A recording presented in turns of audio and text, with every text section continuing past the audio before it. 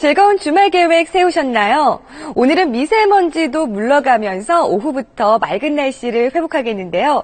단 오후 늦게 영동 지방엔 한때 비나 눈이 조금 내리겠습니다. 일요일은 내일은 찬바람이 약간 강해지면서 오늘보다 기온이 좀 내려갑니다. 아침엔 서울의 기온 영하 4도까지 떨어지겠고 낮에도 체감 온도가 기온보다 내려갈 것으로 전망됩니다. 모레는 정월 대보름이어서 달맞이 계획하신 분들 계실 텐데요. 전국적으로 구름이 많이 끼면서 대보름달을 보긴 어려울 전망입니다. 오늘은 점차 맑아지겠지만 경남 해안은 아침까지 비가 조금 내리겠습니다.